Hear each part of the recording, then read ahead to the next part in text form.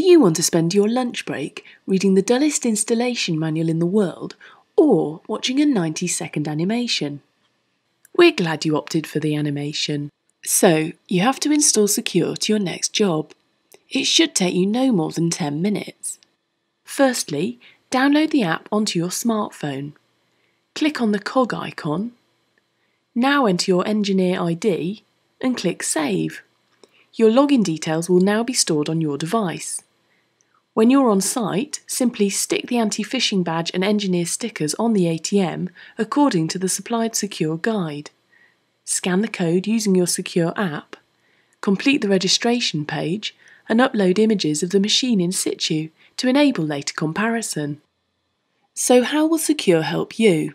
At the moment, you mostly get called out to repair an ATM based on a report or phone call from a branch or store manager. You sometimes arrive on site without all the information you need. There may be more damage than you're expecting. You haven't got all the parts you require. It can be a pain.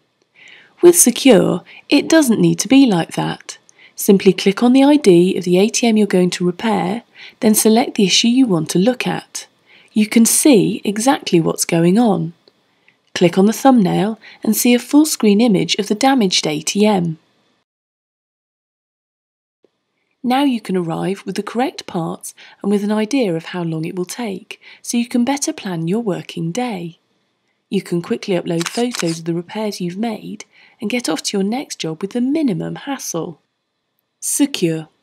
Arrive at the job with all the information you need.